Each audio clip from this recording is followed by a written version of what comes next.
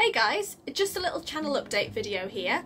Um, I have a little bit to say, so I thought I might make a video of it, of things I'm planning to do in the future instead of writing it in the comments and stuff like that, just because um, I feel like it's easier to speak about it than write it down. But yes, first of all, I'd like to say a big thank you to anyone that's watching my current playthroughs of Mass Effect and Enderal. Any comment like subscription or just just watching it is very much appreciated. Didn't really expect anything. Um, I just filmed it for fun because I like watching them so much. But yeah, thank you, thank you very much for all the interactions and everything like that. I hope they continue.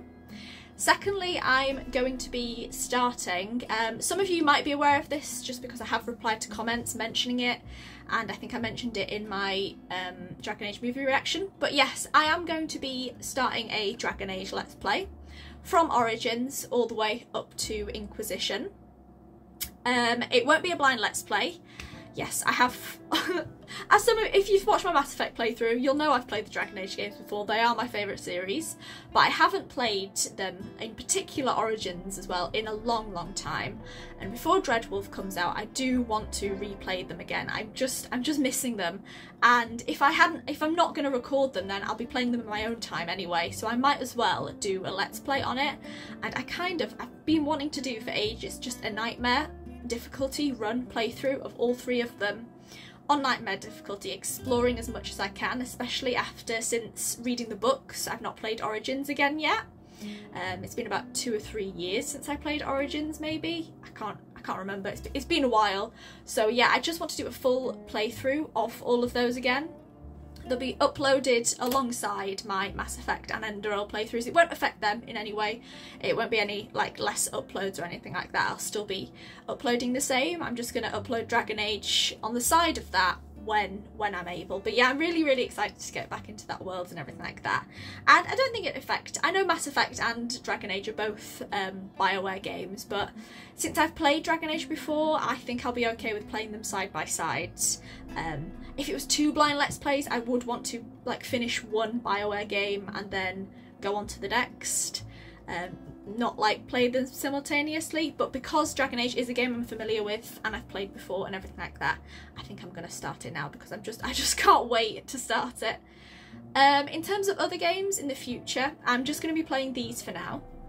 But when I do finish one of them, it'll probably be Enderal I finish first, my guess. Um, if I count Mass Effect, like Mass Effect 3 and Andromeda as all one, um, I think I'll be finished that first, but when I have finished that, I plan on playing um, a shorter game for a time before I jump into another longer one. So if you have any suggestions of any shorter games to play, I'm all ears. You can leave it in the comments or um, basically in the description, anywhere, just anywhere you want to leave a comment.